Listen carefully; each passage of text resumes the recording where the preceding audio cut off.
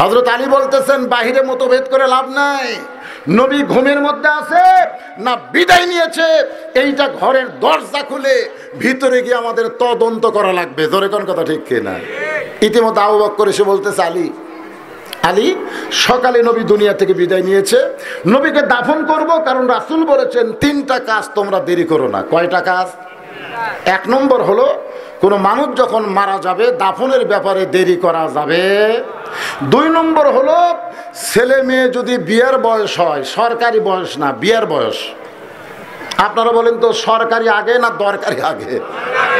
তা আপনাকে কখন বউ দরকার?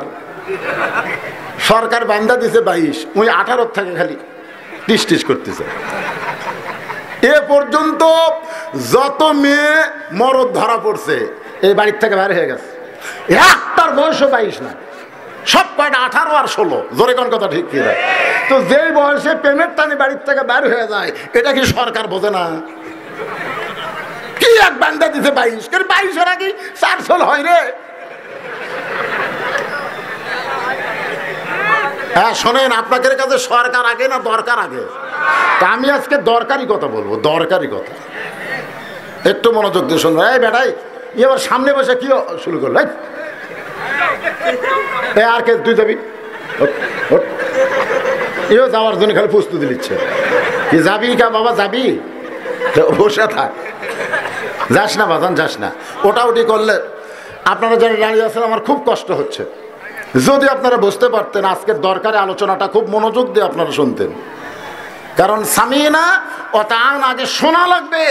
তারপর আমল করা লাগবে, বুঝতে হবে, জোরে কোন কথা ঠিক কি না আলী, তুমি যদি আমার দলে যোগ দাও, আমি নবীকে দাফন করতে পারি। তুমি যদি আমার দলে যোগ দাও, উমরের কোনো ক্ষমতা নাই, এখানে বাধা দিবার পারে। আপনারা বলেন তো হজরত আলী যদি আবু বক্করের দলে যোগ দেয়, আর নবীকে যদি দাফন করতে চায় ওমর ফারুককে সামনে আসতে পারবে।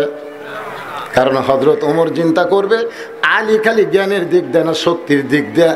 যদি যায়, দশজনকে বুকের তলে ফেলে দিবি তোরে কোন ঠিক কিনা এমন সময় বাম পাশে হজরত ওমর বলতে চালি আবু বক্করের কথা বিশ্বাস করবেন না। কারণ নবী কোনোদিন বিদায় নিতে পারে না। নবী ঘুমের মধ্যে আছে, ডাক দিলি নবী চেতন পাবে। ইসলামের আলো জলায়া দিয়া নবী ঘুমায়া। আসেন সোনার মদি নাই ওমর ফারুকের কথার সাথে ঠিক আছে না নাই?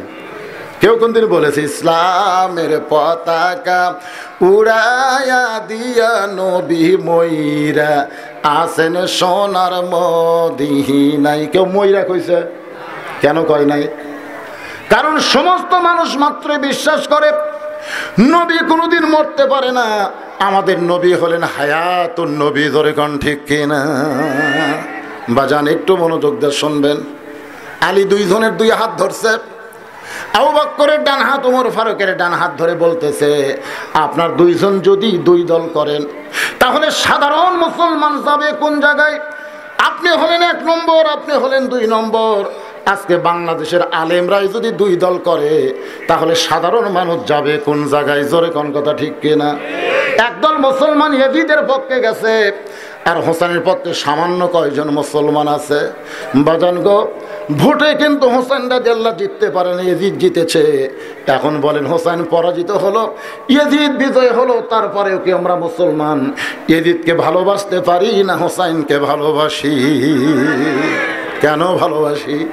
আমাদের বাংলাদেশে হুসাইনের দল যারা করবে তারা হয়তো পরাজয় বরণ করবে, ফাঁসির কাছতে যাবে, তাদেরকে জেল জুলুমের মধ্যে রাখা হবে। আর ইয়াজিদের দলেরা ক্ষমতায় থাকবে। তারপরেও পরিচিত মুসলমান যারা, তারা ইয়াজিদের দলকে ভালোবাসতে পারে না। তারা হোসাইনের মরা দলকেই পছন্দ করে, জোরে কোন কথা ঠিক কি না? আসলে কিন্তু হোসাইন মরে নাই। আসলে হোসাইন মরে নাই। ইয়াজিদ মরে গেছে, কারণ ইয়াজিদের নাম গোটা বাংলাদেশ অনুবেক্ষণ যন্ত্র দিয়ে খুঁজলেও আপনারা পাবেন না। আর প্রত্যেক পাড়ায় পাড়ায় দুই চারটা হোসাইনকে পাওয়া যায়, ধরে কোন কথা ঠিক না? এই জন্য হকের পক্ষে থাকতে হবে। হকের পক্ষে থাকতে গিয়া যদি সাময়িক কোনো বিপদ আসে, তারপরেও মুসলমান হক পথ ছাড়বে না। যদি ব্যাহকের পথ বিশাল হয়, তারপরও মুসলমান সেই পথে কখনো যাবে। দুইজনের হাত ধরে বলতেছে, আপনারাই যদি দুই দল করেন, তাহলে সাধারণ মুসলমান যাবে কোন জায়গায়? আবু বক্কর বলে, আলী, তাহলে কি করব? উমর বলতেছে, আলী, তাহলে কি করব? আলী বলতেছে, আমরা তদন্ত করব। নবী বিদায় নিছে না, ঘুমের মধ্যে আছে। এটা দরজা খুলে ভিতরে গেলেই তদন্ত করা যাবে। আপনারা বলেন, ভিতরে আসার দরকার আছে না নাই? একজন নেতা বলতেছে, এখনকার বক্তারা ওয়াজের নামে রাজনীতি করে, উঠেই সরকার বিরোধী ওয়াজ করে, উস্কানিমূলক বক্তব্য দেয়, ইসলামে কোনো রাজনীতি নাই। এই কথা বলি যখন অতিথি নামলো, আমি হাত ধরে বললাম, আপনি কি ভিতরে ঢুকছেন? আমি বললাম, ভিতরে কি? ভিতরে ঢুকে দেখেন, উনত্রিশ পাড়ার প্রথমে। রাজনীতি আছে না নাই, উনত্রিশ পাড়া খোলেন। উনত্রিশ পাড়া খুলে দেখেন।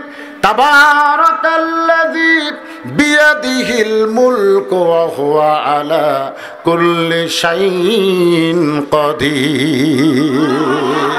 গোটা পৃথিবীর রাজত্ব কর্তৃত্ব মালিকানা কার হাতে? সমস্ত ক্ষমতার মালিককে। এখন যদি বলে, প্রধানমন্ত্রীর হাতে ক্ষমতা, কোন মুসলমান যদি বলে প্রধানমন্ত্রীর হাতে ক্ষমতা, এ কথা বলাও সারা বেইমান হওয়াও সারা। কারণ প্রধানমন্ত্রী প্রেসিডেন্ট হাতে কোনো ক্ষমতা নাই, ক্ষমতা হলো আমার আল্লাহর হাতে। সমস্ত ক্ষমতার মালিককে কেউ যদি বলে সমস্ত ক্ষমতার উৎস জনগণ, তাহলে বুঝবেন সে বাহির থেকে কথা বলতেছে, ভিতরে যখন যাবে তখন কিন্তু সমস্ত ক্ষমতার উৎস জনগণ বলবে না। অহু আলা কুল্লি সাইয়েন কদির, সমস্ত ক্ষমতার মালিক হল আমার আল্লাহ। এখন আপনারা কি বাইরে থাকবেন না ভিতরে ঢুকবেন? আলী বলতেছে, ভিতরে ঢোকা লাগবে। নবী বিদায় নিছে না ঘুমের মধ্যে আছে? এটা ভিতরে না ঢুকলে বোঝার উপায় আবু বক্কর বলে আলী, তাহলে ভিতরে কে ঢুকবে? উমর ফারুক বলে আলী, তাহলে ভিতরে কে ঢুকবে? আসলেই তো তাই। ভিতরে ঢুকবে কে? তদন্ত করার জন্য ঢুকবে কে? কারণ যাকে তাকে তো তদন্ত করতে দেওয়া যায় না। যাই মৌলবি জোরে গেলে কয় দাওয়াত পাশে আসতে গেলে কয় কত পায় খাওয়া খাসে ওই দুই চোখে মৌলবি দেখবার পারে না। আবার ও কি তদন্ত দিছে, দায়িত্ব দিছে, দেখো তো মৌলবি কোন দল করে। ওই আগে থেকেই মৌলবিক দেখতে পারে না। ওয়াক যদি তদন্তের দায়িত্ব দেয়, ওই কি মৌলবীর পক্ষে রিপোর্ট দিবে না বিরুদ্ধে দিবে? আজকে বাংলাদেশের যত আলিমকে তদন্ত করেছে, এগুলোকে আলিমেরা করেছে না জালেমেরা করেছে? তো জালেমের রিপোর্ট কি হবে? আমার বিরুদ্ধে যদি সরকার তদন্ত করার জন্য কাউকে পাঠায়, ওই আমার দুই চোখে দেখবার পারে না। যাই, লেখা দিবি জঙ্গি, জিএমবি আবু বক্কর বলতেছে, তাহলে তদন্ত কে যাবে? উমর বলতেছে, তাহলে তদন্ত কে করবে? হজরত আলী বলতেছেন, ঘরের মালিক যিনি, তদন্তের দায়িত্ব দিবেন তিনি। ঘরের মালিক হচ্ছে আয়সা এ মা আয়সা যাকে দায়িত্ব দিবে, তিনি তদন্ত করবেন। সোনালো বলেন। এখন হজরত আলী বলতেছেন, মা মা আয়সা কিন্তু সকলের মা, আমাকেরও উম্মাহাতুল মুমিনিন, সমস্ত উম্মতের মা। তাহলে মা বলে ডাকলে অসুবিধা আছে? মা, নবী নিয়া বাহিরে গন্ডগোল চলতেছে।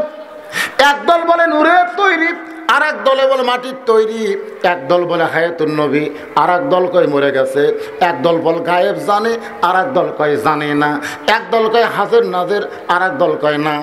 ঠিক কিনা বলেন? এরকম গন্ডগোল আমাদের দেশে আছে না নাই? এক দল বলতেছে, নবী নূরের রে। আর এক দল কয় এই পাগল। নবী মাটি রে। আচ্ছা আপনারা বলেন তো, কেউ যদি বলে, আমার দোকান মাটি হয়ে গেল, তাহলে আপনারা কি বুঝবেন? কথা কন না একেবারে আমার জীবন মাটি রে, আমার জীবন। তাহলে মাটি মানে কি? তাহলে নবিক মাটি করলে নবিক শেষ করে দিল। আবার নবীকে যদি নূরের তৈরি বলেন, নূরের ফেরেস্তা করে আদমকে দাপ সবার চেয়ে দিলেন মাটির মানুষকে সম্মান। আল্লাহ আল্লাহ সবাই বলেন জানলে জালালুহু, শেষ করা তো যায় না গিয়ে তোমার গান আল্লাহ এমন সময় মায়েশা বলতেছে নবীর মাদ্রাসার এক নম্বর ছাত্র যিনি, তদন্তের দায়িত্ব পাবেন তিনি।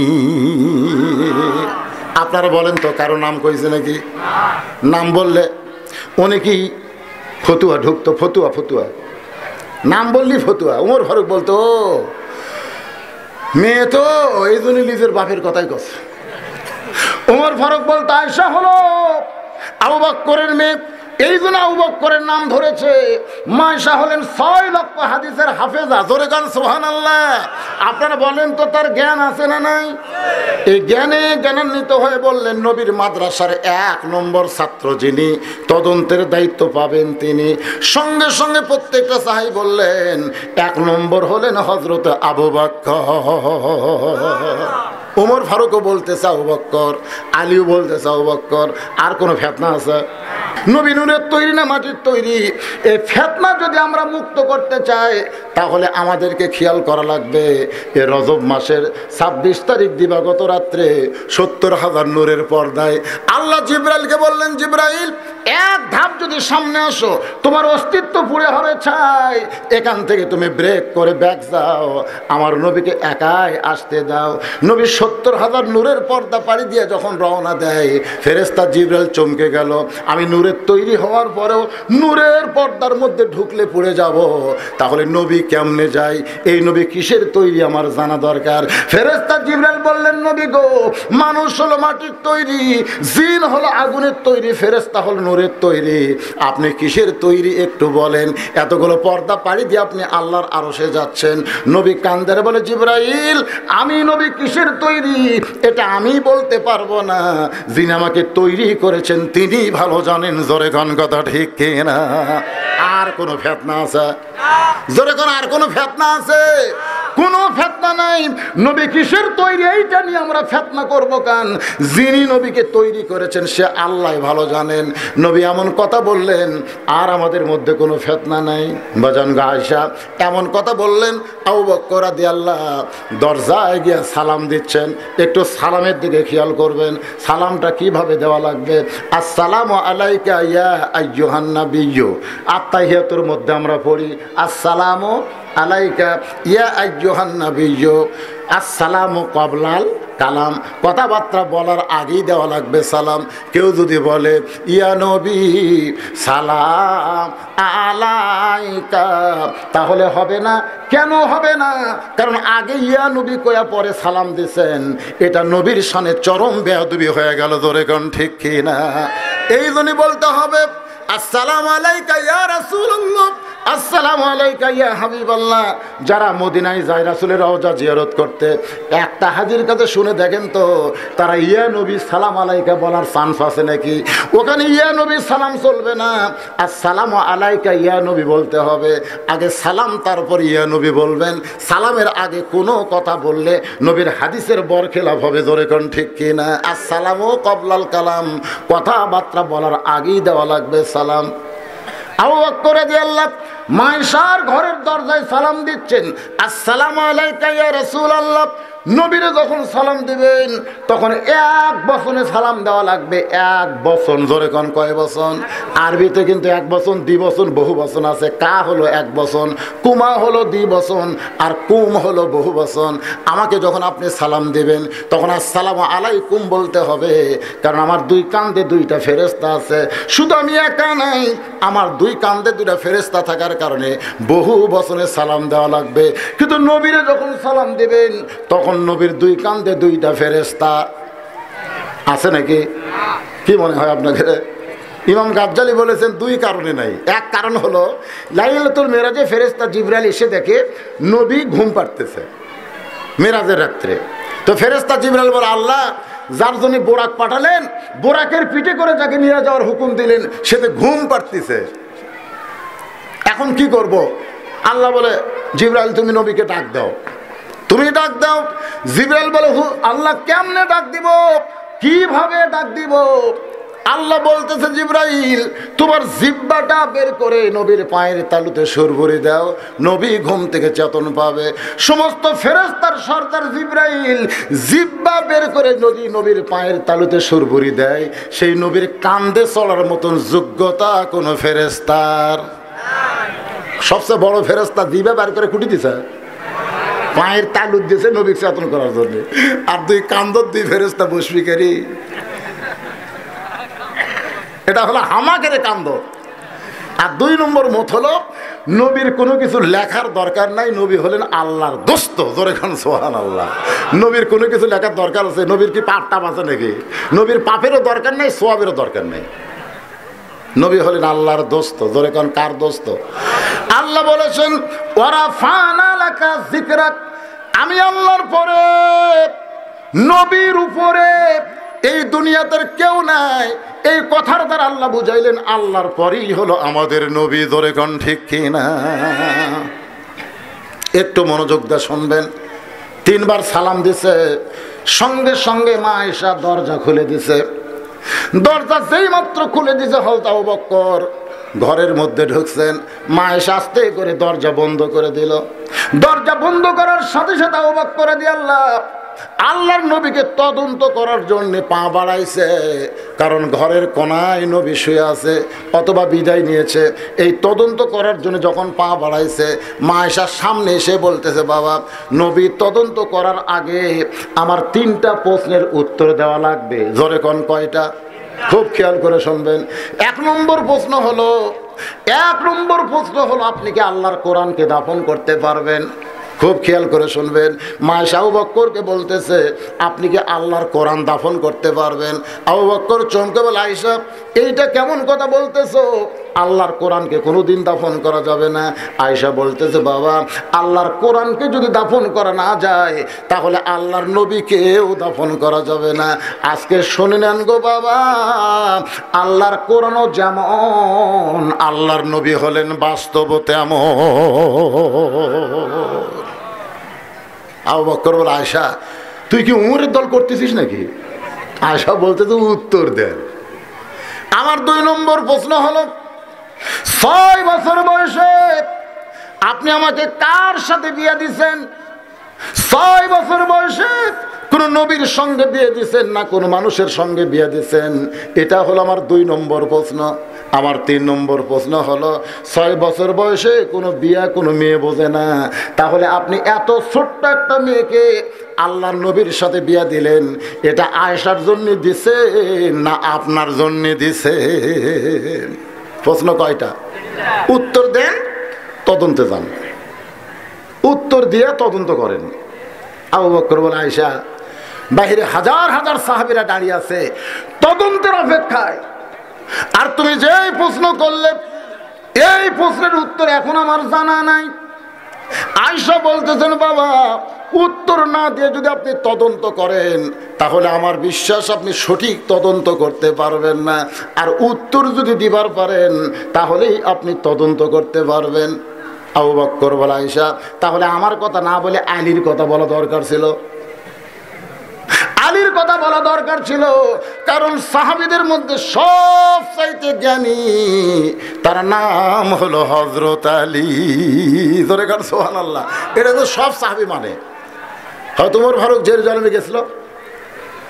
জের জলমে যখন ওমর ফারুক গেছে, এমন সময় রাখাল আছে উটের পিঠে। আর ওমর ফারুক রাখালের ওই উটের দড়ি ধরে নিছে দাঁড়িয়ে আছে। তো জেরুজালেমের খ্রিস্টানেরা রাখালকেই হজরত উমর মনে করে। শুভেচ্ছা স্বাগতম জানাচ্ছে। এমন সময় রাখাল কানতেছে আর বলতেছে, রে জেরুজালেমের লোকেরা, তোমরা আসলে হজরত উমরকে চেনো না? আমি তো হজরত উমর না। আমি হলাম রাখাল, আর নিচে যিনি দাঁড়িয়ে আছে তিনি হলেন হজরত উমর। কবেন না। সঙ্গে সঙ্গে জেরুজালেমের খ্রিস্টানরা বলতেছে, অর্ধ পৃথিবীর খলিফা হইয়া যদি নিচে দাঁড়িয়ে থাকে, আর রাখালকে যদি উঠের পেটে চড়ায় তাহলে আমরা সেই দলের মধ্যেই ভর্তি হবার চাই। যেই দলের মধ্যে উঁচু নিচু সব সমান হয়ে যায়। সব জেরুজালেমের খ্রিস্টান যারা স্বাগতম জানাবার ছিল, তারা মুসলমান হয়ে গেছে। ওটা কি কলেমার দাওয়াত দেওয়া লাগছে? আদর্শ দিকে মুসলমান। আর আমাদের আদর্শ কি খালি? ফেতনা, খালি ফাটাফাটি। একটা ওয়াজত গেলে জনগণ যে কি শিখে, তার আগে হিংসা শিখে, যে একটা বক্তার ওয়াজ খুঁজে দেখেন চল্লিশ মিনিট ওয়াজের মধ্যে তিরিশ মিনিট খালি বিরুদ্ধে করছে কারও না কারও বিরুদ্ধে এখন ঠিক কিনা। আসেন ভাই যান, একটু মনোযোগ দিয়ে শুনবেন। বিরক্ত হচ্ছেন? তো এখন একটা বেঁকা ছিল, সব তো আর সোজা না।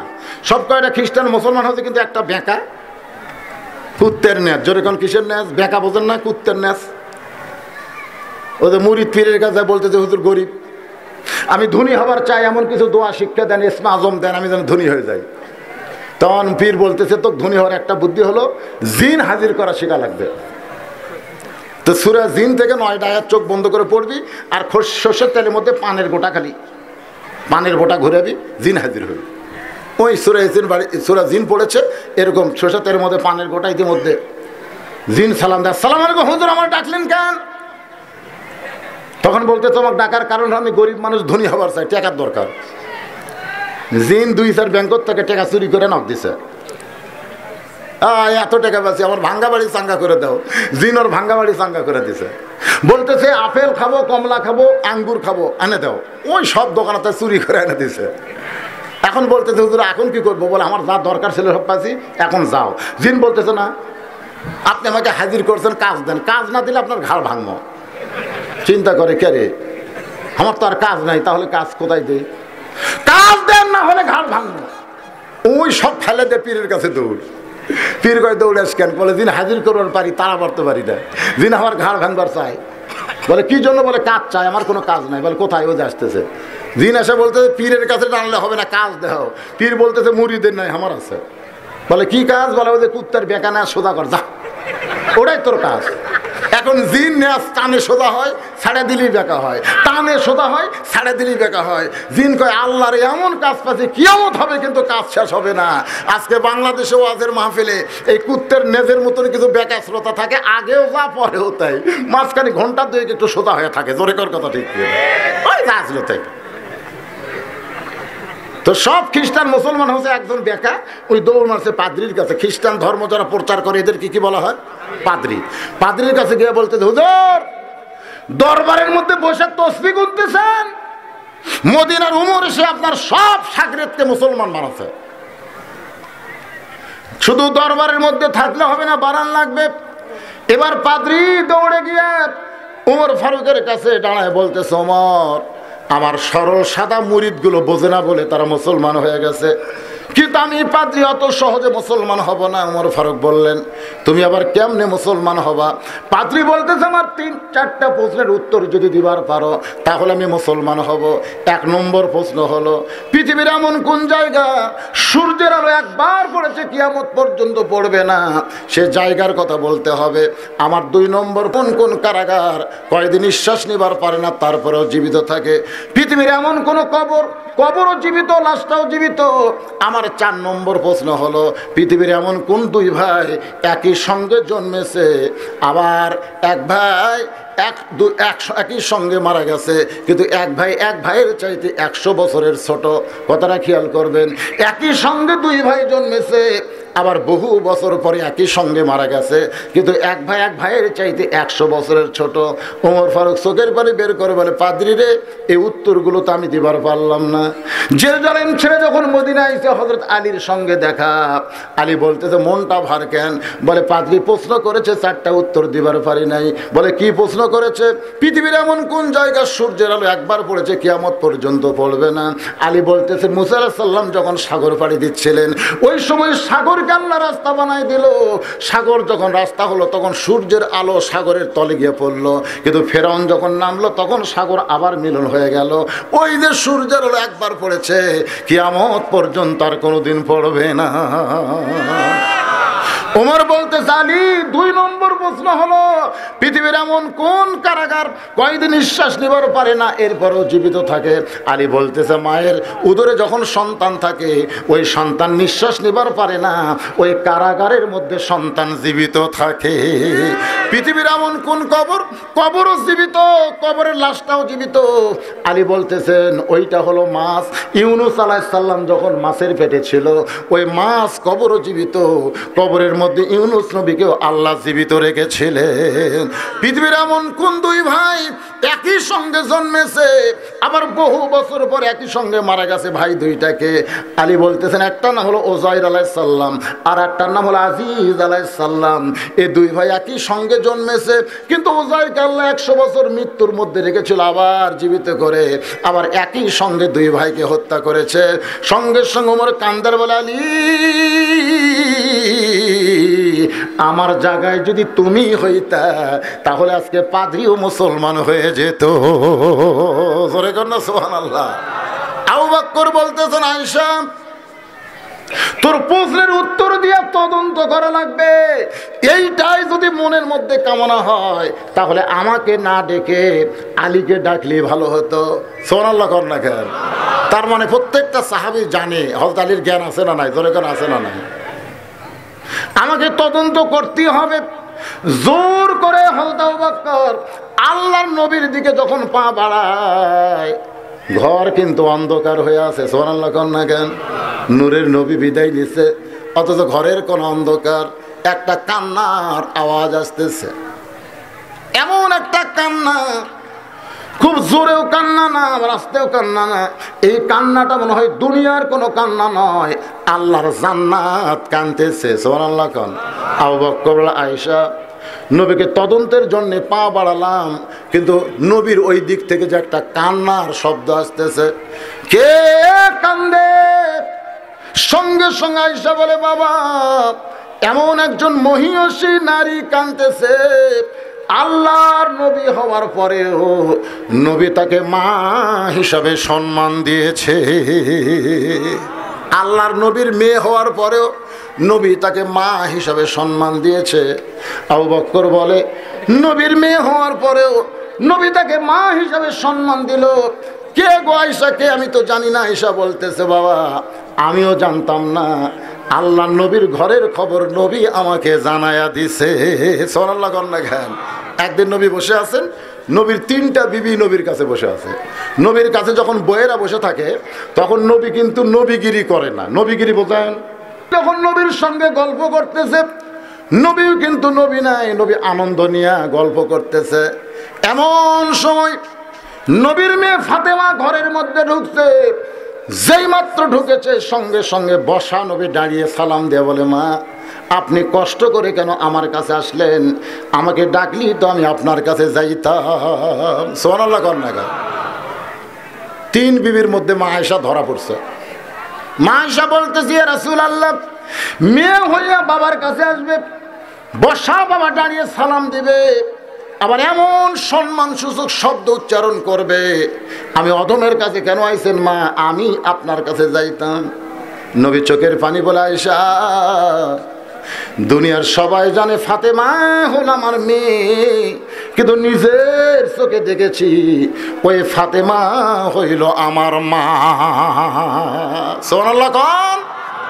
দুনিয়ার সবাই জানে ফাতেমা আমার মেয়ে, আমরাও জানি, কিন্তু নিজের চোখে দেখছি ফাতেমা আমার মা। আয়সা বলতেছি এই কথা গোপন রাখলে দুনিয়ার কেউ জানবে না। আপনি বলেন গো হুজুর, এটা হাদিস হিসাবে আয়সা দুনিয়ার কাছে বয়ান করবে। ধরে কেন সোহান আল্লাহ আল্লাহ রাসুল আয়সা তাহলে শোনো, এই যে রজব মাস, এই রজব মাসে মেরাজ হয়েছে, তার মাত্র দুই মাস আগে আল্লাহ নবী গেছিলেন তাইফের ময়দানে। ধরে কোন, কোথায়? তাইফবাসী এত পাথর মারছে, নবী কোনো অপরাধ করে নাই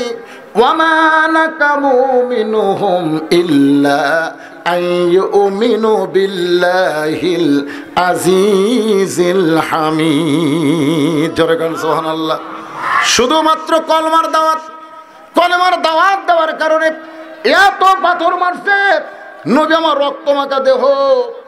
শোনেন একটু, কলিজা দিয়ে মনোযোগ দিয়ে শুনবেন। ওই রক্তমাখা দেহ নিয়ে নবী যখন মক্কায় ফেরত আইছে, বাজান গো তখন নবীর চারটা মেয়ে ছিল, জোরে কোন মেয়ে কয়টা? চারটা মেয়ে ছিল। রোকেয়া, জয়নাব, কুলসুমা ঘরের মধ্যে ঢুকে নবীর চেহারার দিকে তাকায়, বলে, বাবা, এত পাথর তাইফবাসী আপনাকে মানলো, বাবা। আপনি তাইফে না গেলেও পারতেন, বাবা। তাইফবাসী এত পাথর মানলো, এই কষ্ট আপনি কেমনে সহ্য করবেন, বাবা? এমন কথা বলে, তিনটা মেয়ে যখন ঘর থেকে বের হয়ে যায়, আল্লাহ নবী বল আয়সা এমন সময় দেখি আমার মেয়ে ফাতেমা ঘরের মধ্যে ঢুকে দরজা বন্ধ করে দেয়। আমি নবীর চমকে বললাম, ফাতেমা, ঘরের দরজা কেন বন্ধ করলি? ফাতেমা বলে, বাবা আমি আপনাকে কয়েকটা প্রশ্ন করতে চাই। এক নম্বর প্রশ্ন হলো, ইব্রাহিম নবীর জন্য যদি নমরুদের চুলা আল্লাহ শান্তির বাগান বানায় দেয়। দুই নম্বর প্রশ্ন হলো, মুসা নবীর জন্য আল্লাহ যদি নীল দরিয়াকে রাস্তা বানায় দেয়।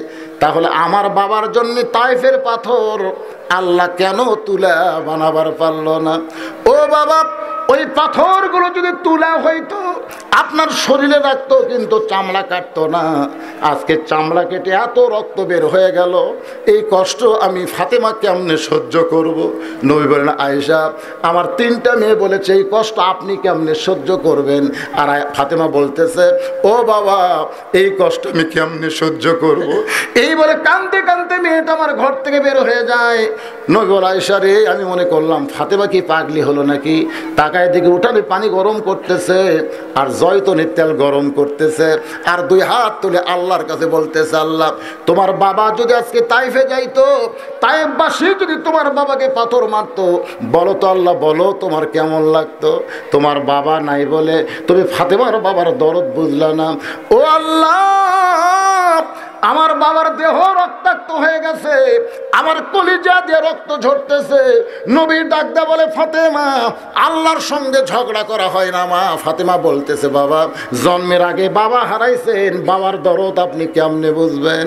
নয় বলে আইসারে কিছুক্ষণ পরে দেখি গরম পানি আর গরম জয়তনের তেল নিয়ে ঘরের মধ্যে ঢুকে দরজা বন্ধ করে দেয়। আমি নবী বললাম, দরজা খুলে রাখ। ফাতেমা বলতেছে, বাবা, সন্তান যখন বড় হবে, এই সন্তানকে গোসল করাতে গেলে দরজা বন্ধ করেই গোসল করান লাগবে। নই বলে, আয়েশা, আমি আমার মাথাটাকে ফাতেমার উড়াতে বালিশ বানিয়ে শুয়ে গেলাম। আমার শরীরের রক্ত মাখা জুব্বা খোলে। যত জায়গায় ওরা পাথর মারছিল, ওই গরম পানির মধ্যে নরম কাপড় চুবড়ায়া চুবড়ায়া আমার গোটা দেহ পরিষ্কার করে, আমার গোটা দেহ পরিষ্কার করে, ওই ফাতেমার আঙ্গুলের মধ্যে জয়তনের গরম তেল নিয়ে আমার ক্ষতস্থানে যখন মালিশ করে দেয় আমি নবী নইরে আইসা আমি যেন একজন সন্তান হয়ে মায়ের কোলে ঘুমায় গেছি। ওই ঘুমের মধ্যে স্বপ্নে দেখি আমার মা আমি না আমার শিওরের পাশে দাঁড়ায় কানতেছে এত বছর পরে মা আমিনাকে পেয়ে আমি খুশি হয়ে বললাম, মা, আইসেন যখন আর যাবার দেব না। আমি স্বপ্নকে বাস্তব মনে করে খপ করে আমার মা আমিনার হাতটা চাইপা ধরলাম, যাইতে দেব না বলে। এমন সময় দেখি ফাতেমা আমার কপালে চুমা খায়। ওই ফাতেমার চোখের পানি আমার চোখের মধ্যে ঢুকে। আমি ঘুম থেকে চেতন পাইলাম। আমি কইলাম, ফাতেমা, খালি কান্দিস কেন? ফাতেমা বলতেছে, বাবা, আপনি মনে হয় স্বপ্ন দেখেছেন। আপনি স্বপ্নে মা বলে আমার হাতটা চাইপা ধরেছেন, বাবা। এখন পর্যন্ত হাতটা ছাড়েন নাই। নবী বলেন, ফাতেমা, স্বপ্নে মা বলে যদি তোর হাতটা চাইবা ধরি, তাহলে তুই শোনে নে। তুই শুধু আমার মেয়ে না, তোর চেহারার মধ্যে দেখলাম আমার মা আমি না আল্লাহর বান্দারা একটু মনোযোগ শুনবেন আয়সা বলতেছেন, ফাতেমা, ও ফাতেমা আমার বাবা নবী তদন্ত করবে। তুমি একটু অন্দর মহলে যাও মা। মা ফাতেমা যখন অন্দর মহলে যায় এমন সময় হয় হতাও বক্কর ভাইজান, এখন থেকে একটু মনোযোগ দিয়ে কথাগুলো শুনবেন। আমরা মীমাংসা পেতে চাই, জোরে কোন কথা ঠিক কিনা? এই জন্য মীমাংসার জন্যই বলতেছি, কোনো ফেতনা না। এমন সময় আউ বক্কর আদি আল্লাহ তদন্তের জন্য নবীর কাছে গেলেন। নবীর কাছে গিয়ে দেখেন মাথার কাছে একজন দাঁড়িয়ে আছে আর পায়ের কাছে একজন দাঁড়িয়ে আছে। এই দুইজনের নাম হলো হাসান আর হোসাই মাথার কাছে দাঁড়িয়ে আছে হাসান, পায়ের কাছে দাঁড়িয়ে আছে হুসাইন। যেই মাত্রা উবক করা দিয়ে আল্লাহ গেছে, এমন সময় দুই ভাই দৌড়ে এসে দুই হাত চেপে ধরে বলতেছে, ও নানার মুরব্বী, সাহাবি, সকালবেলা থেকে আমরা দুই ভাই নানা নানা বলে ডাকতেছি। যেই নানাকে কোনোদিন ডাক দেওয়া লাগে না। নানাই আমাদেরকে রাগ ভাঙ্গায়া হাসান হোসেন বলে বুকের মধ্যে নেয়। আজকে সেই নানাকে সকাল থেকে আমরা ডাকতেছি। আমাদের মা এতক্ষণ ধরে কাঁদলো, ও মুরব্বী, নানার সাহাবি, এখন পর্যন্ত আমার নানা কোনো কথা কয় না। ও নানার সাহাবি, মেহরবানি করে আমার নানাকে ডাক দেন। আপনার ডাকে আমার নানা কথা বলবে। আমাদের উপরে নানা রাগ করেছে। মেহরবানি করে আপনি একটু আমার নানাকে ডাক দেন। আস্তে করে আবু বক্কর হাঁটু গেড়ে বসে আল্লাহ নবীর কপালে একটা চুমু দিয়ে বললেন, ইয়া রাসূল আল্লাহ উমর ফারুকের সঙ্গে আমি একমত। লিল্লাহে বাহিরে দ্বিমত করলেন নবী বিদায় নিছে, দাফন করব। আর ভিতরে গিয়ে অবাক করে আল্লাহ কি দেখলেন? যে এটা দেখার পরে বললেন তো আল্লাহর নবী, ওমর ফারুকের সঙ্গে একমত। হাসান হোসেন হাত ধরে বলতেছে, কিসের একমত? মেহরবানি করে আমার নানাকে ডাক দেন। কারণ নানার কাছে আপনার বহু গল্প শুনেছি। আমরা যখন দুই ভাই চিল্লাচিল্লি করতাম, তখন আল্লাহর নবী আমাদেরকে উড়াতে নিয়ে, কোলের মধ্যে নিয়ে বলতেন, হাসান হোসাইন আমি একজন মহামানবের গল্প শোনাবো। তোরা কি শুনবি, আপনাদের নাতি, নাতনি, সন্তানকে যদি ভালো করতে চান, ভালো মানুষের গল্প করার দরকার আছে না নাই? আপনারা কি গল্প করেন? হোবারে পুত, লাল লাঠিয়ার উঠ ছেলে ঘুমাছে না আইরা আই টিয়ে, নায়ে ভরা দিয়ে, আয় আয় সাঁত মামা টিপ দিয়ে যা। চাঁদের কপালে, ওটা সাঁত ওই টিপ করছেন, ওগুলা কথা। যখন হাসান হোসেন জিদ ধরতো, কান্নাকাটি করতো, কিছু খাবার চাইতো, নবীর কাছে ছিল না। তখন নবী বুকের মধ্যে নিয়ে বলে, ভাইজান, আজকে তোমাদের কেমন একটা মহামানবের গল্প শোনাবো। হাসান হোসেন বলে, না সেই মহামানবকে। আল্লাহ নবী বলেন, সেই মহামানবের নাম হলো আবু বাক্কার। আমি গভীর রাত্রে তার দরজা দিয়ে ঠোকা মারছি, ভাই, হাসান হোসেনকে গল্প শোনাচ্ছে। সঙ্গে সঙ্গে দরজা খুলে গেল।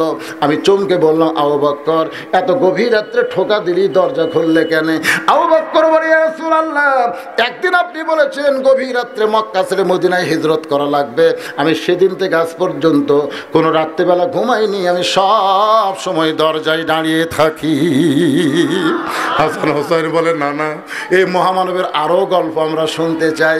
রাসুল বলে, হাসান হোসেন, শোনো, ওই গাড়ে সুরের মধ্যে আমি দুর্বল হয়ে ওই মহামানবের উরাতকে বালিশ বানায় যখন ঘুমায় গেছি, ওই মহামানব আবু বক্কর গর্তের চারিদিকে তাকায় দেখে, উপর দিকে একটা ছিদ্র দেখতে পায়। তার মনের মধ্যে কামনা, যদি কিছু বের হয়ে আল্লাহ নবীকে কামড় দেয়, বাম বা ছিদ্রের মুখে দিছে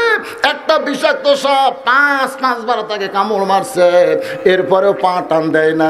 কারণ তার জীবনের চাইতেও আমি নবীকে বেশি ভালোবাসে। হাসান হোসেন বলে, না না, ওই মহামানবের পুরস্কার আল্লাহ কি দিল? ওই মহামানবের পুরস্কার আল্লাহ কি দিল? নবী বলে, হাসান হোসেন রে, দুনিয়ার সবাই মিলে যত নেকি করবে, ওই গাড়ে সুরের নেকির ওজন তার চাইতে আল্লাহ বেশি করে দিবে। হাসান হোসেন নবীর বুক আর মুখ চুমা খায়ার বলে, না না আবু যেমন নিজের জীবন দিয়া, তোমাকে বেশি ভালোবেসেছে না?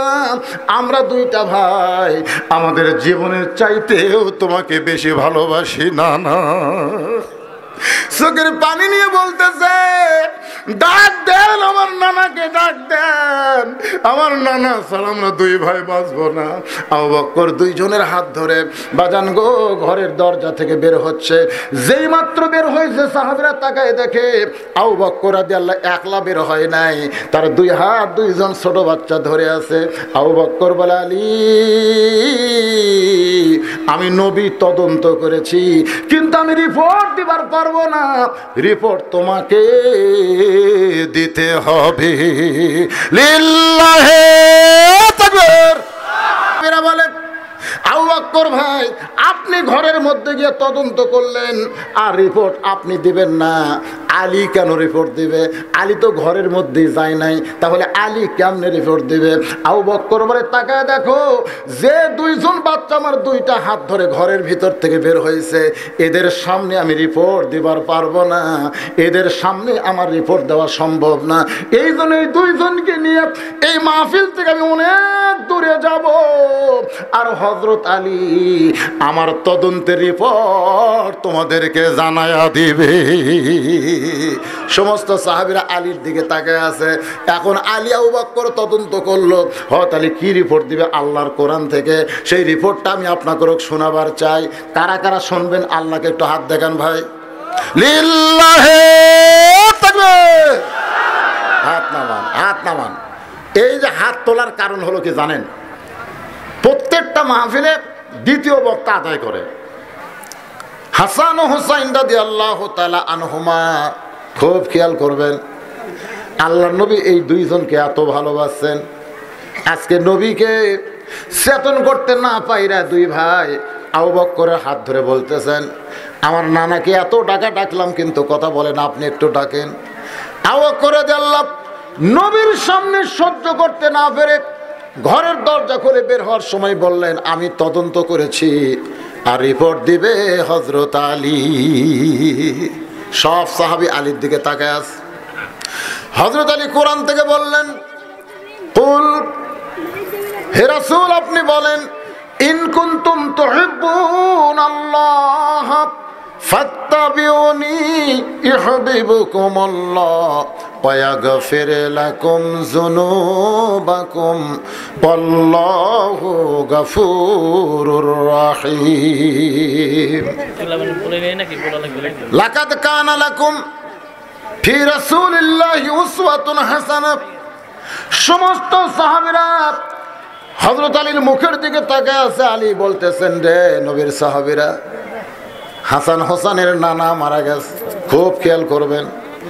হাসান হোসানের নানা মারা গেছে, ফাতেমার বাবা মারা গেছে, আমার শ্বশুর মারা গেছে। কিন্তু না ইল্লাল্লাহ থাকবে যতদিন মোহাম্মদ রসুল্লাহ থাকবে ততদিন, নামাজ থাকবে ততদিন, নবী থাকবে ততদিন আজান থাকবে যতদিন, নবীও থাকবে ততদিন। নবী কোনোদিন মরতে পারে না। নবী হচ্ছে আমল, নবী হচ্ছে আদর্শ, নবী হচ্ছে আল্লাহর ইবাদত। জোরে গান সোহান আল্লাহ আমরা নবীকে কোনোদিন মারব না। ইমাম মালিক যখন রাস্তা দিয়ে যাইতেন কোনো টুপিওয়ালা, দাড়িওয়ালা মানুষকে দেখলেই তার হাতে একটা চুমা দিতেন। চুমা দিয়ে বলতেন, ভাই জান আজকে আমার বাড়িতে আপনার দাওয়াত। লোকটা আশ্চর্য হয়ে বলে, আমি একটা সাধারণ মানুষকে আপনি এত বড় আলিম হয়ে দাওয়াত কেন দেন? আমি একটা সাধারণ মানুষকে আপনি এত সম্মান করেন। ইমাম মালিক বলতেছে, তুমি তোমাকে সাধারণ ভাবতেছো, কিন্তু আমি তোমার ভিতরে আল্লাহর নবীকে দেখতে পাই। আমি তোমার ভিতরে আল্লাহর নবীকে দেখতে পাই। লোকটা বলে, আমি কোথায়? আল্লাহর নবী কোথায়? আমার মধ্যে আল্লাহ নবী কেমনে দেখতে পান? ইমাম মালিক বলেন, তোমার মাথার দিকে তাকাইলে নবীর শূন্য টুপি আমি দেখতে পাই। তোমার মুখের দিকে তাকাইলে নবীর শূন্য দাড়ি দেখতে পাই। তোমার পরনে নবীর পোশাক দেখতে পাই আমার বিশ্বাস। তুমি নবীকে মদিনা রওজার মধ্যে রাখো নাই। নবীর জায়গা দিয়েছ তোমার কলিজা যারা নবীর জায়গা কলিজার মধ্যে দিয়ে নবীর আদর্শ মানবে, নবীর সুন্নাতকে গ্রহণ করবে তাদের কাছে নবী কোনোদিন মরবে না, নবী কোনোদিন মরতে পারে না। নবী সব সময় আমাদের আমলের মধ্যে থাকবে, ধরে কোন ঠিক কিনা আল্লাহ কোরআনে বললেন মাতা কুমুর রসুল ফাকুদুহু অমা নাহা কুম আনহু ফান্তাহু। আমার নবী যেইটা করেছেন সেইটা তোমরা করো। তাহলে নবী তোমাদের কাছেই থাকবে। আমার নবী যেটা নিষেধ করেছেন সেইটা তোমরা বর্জন করো। তার নবী তোমাদের মাঝখানেই থাকবে। নবীকে আমরা মদিনার রওজার মধ্যে দাফন করতে পারি না। নবীকে আমাদের চলাফেরা কাজে কাজ সব সময় নবীকে আমরা ধরে রাখব। ছোট্ট একটা যুক্তি দিয়ে আপনাদের বুঝাইতেছি। বাগদাদের শহর এলাকায় একজন ঘোষণা করেছে, আমি আমি এক মাস ধরে জনগণকে ফ্রি খাওয়াবো, এক মাস ধরে জনগণকে ফ্রি খাওয়াবো। আল্লাহর ওই শেখ সাদি রহমতুল্লাহ চিন্তা করেন ফ্রি খাওয়ানোর মালিক হলো আল্লাহ। দুনিয়ার মানুষ কেমনে মানুষকে ফ্রি খাওয়ায়? হোটেলখানা দেখতে গিয়ে দেখে একটা দরজা দিয়ে শত শত মানুষ হোটেলের মধ্যে ঢুকতেছে। আল্লাহর আলী শেখ চিন্তা করে, কত বড় হোটেল। সমানে মানুষ ঢুকতেছে, তিনি কাছে গেলেন, গিয়ে দেখেন, উপরে লেখা আছে, ফ্রি খাওয়ার দরজা। মানে ফ্রি খাইতে মানুষ খালি সমানে সমানে ঢুকতেছে। শেখ সাদি চিন্তা করে, এত মানুষ ঢুকতেছে, এরা কি বার হয় না? এরা বার হয় কোন দিক দিয়া? হোটেলের অপর প্রান্তে যায় দেখে আর একটা দরজা আছে। সে দরজায় লেখা আছে পিটন খাওয়ার দরজা। জোরে কন, কি খাওয়ার দরজা? একটা হলো ফ্রি খাওয়া, আর একটা হলো পিটন খাওয়া। ওই খাইয়ে দেয় কিন্তু এই দরজাতে বার হওয়া যাবে না, এটা ঢোকার দরজা। ওই দরজায় দিয়ে দেখে একজন বিশাল দেহি দারোয়ান দারোয়ান দাঁড়ায় আছে। হোটেল খায় যখন মানুষ বের হচ্ছে, আর এরকম ঘাড় ধরে একটা চল মারতেছে, এমন একটা চল মারতেছে, লাটুর মতন ঘরে। লাটু ঘোরার মতন বোঝে না চল মারার সাইজ এমন ভাবে মারে, ঘুরতে ঘুরতে ঘুরতে ঘুরতে। যা খাইছে সব বমি করে বার করে দেয় কিন্তু ওরা যে চড় খাচ্ছে, ওরা কিন্তু এসে ফ্রি খাওয়ার দরজা বলতেছে না। এ ভাই, এই, এ ঢুকিস রে। পিটন খাওয়ার দরজা কিন্তু একটা আছে। ওরা মনে করতেছে আমরাও খাচ্ছি, তোরাও খা। শেখ সাদি রহমতুল্লাহ দুই দরজা দেখলেন। একটা হলো ফ্রি খাওয়া, একটা হলো পিটন খাওয়া। তিনি চিন্তা করতেছেন আমি বেড়া থেকে কি দেখলাম? একটা হলো ফ্রি খাওয়া, একটা হলো পিটন খাওয়া। এই বেড়া থেকে দেখলে হবে না, আমাকেও ভিতরে ঢোকা লাগবে।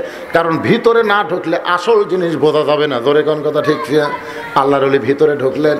ভিতরে ঢোকার পরে খাওয়ার জন্য বয়রা বলতেছে, আপনি বসেন, খাওয়া দাওয়া হবে। শেখ সাদি রহমতুল্লাহ চিন্তা করতেছেন, খাওয়া তো খাব। তার আমার নবীকে আমি সামনে নিয়ে আসব। আল্লাহর নবী বলেছেন, তুমি যখন খাবার বসবে, তখন তোমার ক্ষুধার দিকে তাকায়া ইচ্ছা মতো খাবে না, বরং তোমার ক্ষুধাকে তুমি তিন ভাগ করবে। এক ভাগ খাবে, এক ভাগ পানি পান করবে, আর এক ভাগ আল্লাহর জন্য ফাঁকা রাখবে। শেখ সাদি চিন্তা করে, আমার নবীর তরিকা মোতাবেক যদি আমি খাই দারোয়ান, যত জোরে আমাকে চড় মারুক না কেন, আমার ফাঁকা জায়গা ভরতে পারে, কিন্তু বমি হবে না, বমি হবে না।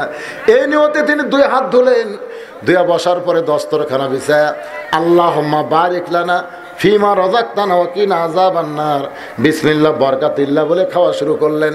যখন খাবার লাগবে তখন বলে সোহান আল্লাহ আর যখন খাওয়া হয়েছে নবীর তরিকা মোতাবেক, আলহামদুলিল্লাহ। শেখ সাদি খাওয়া দাওয়া করার পরে পিটুন খাওয়ার দরজার দিকে রওনা দিলেন। আর মনে মনে ভাবতেছে, যত জোরি চল মারিস না কেন? আমার ফাঁকা জায়গা পুরা হবে কিন্তু বমি হবে না। এই নিয়তে যখন রওনা দিয়েছে এমন সময় এক ব্যক্তি এসে হাত ধরে বলতেছে, হুজুর, আপনি কোন দরজায় যাচ্ছেন? বলে, ফ্রি খাওয়ার দরজা দিয়ে ঢুকছি। পিটন খাওয়ার দরজার দিকে যাচ্ছি। বলে, সবার জন্য পিটন খাওয়া না, আপনার জন্য আর একটা দরজা আছে। সে দরজার নাম হলো পুরস্কারের দরজা। শেখ সাদি কয় বাইরে থেকে খালি দুই দরজা দেখছি, একটা হলো ফ্রি খাওয়া, একটা হলো পিটনো খাওয়া। এখন সেই পুরস্কারের দরজা কোথায়? পুরস্কারের দরজার দিকে একজন বয় ধরে নিয়ে গিয়া দেখে একজন মানুষ মাথায় টুপি মুখে দাঁড়িয়ে চোখের পানি দর দর করে পড়তেছে। শেখ সাদিকে বলতেছে হুজুর, আজকে পনেরো দিন হলে ফ্রি খাওয়ার হোটেল দিয়েছে আরও পনেরো দিন খাওয়াবো। কিন্তু এই পনেরো দিনের মধ্যে কেবল একজন মানুষকে পাইলাম। যে আল্লাহর নবীকে সব সময় তার সঙ্গে রেখেছে। একজন মানুষকে পাইলাম, আর সেই মানুষ হলেন আপনি। আপনি খাবার পূর্বে, আপনি নবীর সন্ন্যতকে স্মরণ করে আপনি নবীর তরিকা মোতাবেক হাত ধুইয়া, নবীর তরিকা মোতাবেক আপনি দস্তরখানা বিছায়া নবীর তরিকা মোতাবেক বিসমিল্লা বারকাতিল্লা দোয়া পড়ে। আপনি নবীর তরিকা মোতাবেক খাইলেন, আমি দূর থেকে সব দেখেছি। কারণ আপনি খাইছেন ঠিকই আল্লাহর নবীকে সঙ্গে করে খাইছে। এই জন্য আপনার জন্য পিটুন না, আপনার জন্য হলো এক হাজার টাকা পুরস্কার। শেখ সাদি কান্দার বলে, মাবুদ, দুনিয়াতে যারা নবীকে সবসময় নিজের আমলের মধ্যে রাখবে, আল্লাহ দুনিয়াতেও তাদের পুরস্কার দিবে, আর মরার পরে আটটা জান্নাতের দরজা খুলে দিবে, আর আশেকে রাসুলদেরকে আল্লাহ নবীর সঙ্গে জান্নাত দিয়া দিবে। এখন আপনারা বলেন, নবী মরছে? এছাড়া নবী মরছে? নবী মরে নাই। হাসান হোসেনের নানা মারা গেছে, ফাতিমার বাবা মারা গেছে, কিন্তু আমাদের নবী কলেমার সঙ্গে, আল্লাহর সঙ্গে, লা ইলাহা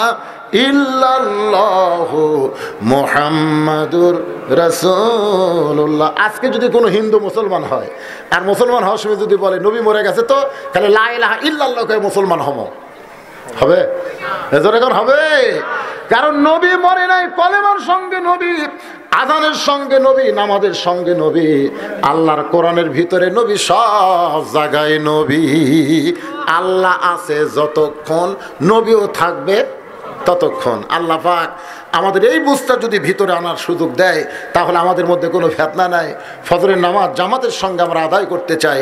আল্লাহ যেন আমাদের তৌফিক দেয় জোরে বলে। আমার এত আশ্রয় ঠিক না। আসলে শুনতে হবে বারোটা পর্যন্ত, একটা ঘুমও হবে, ফজরের নামাজ জামাতে আদায় হবে। ভাই যান আপনারা যারা ওয়াজ শুনলেন, ফজরের নামাজ পড়বেন তো ইনশাল্লাহ আল্লাহ পাক আমাদের সবাইকে কবুল করুক। আল্লাহ